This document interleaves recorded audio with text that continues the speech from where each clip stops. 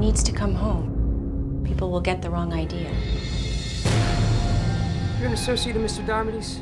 Do you know his whereabouts? How bad is this? A prudent man, I want to get his finances in order. What do we do with Jimmy's piece? Jaws now. This is my town. There's gonna be a lot of green on the table. I've cheated? Who would be a cheater What you did. We don't ever have to mention it again.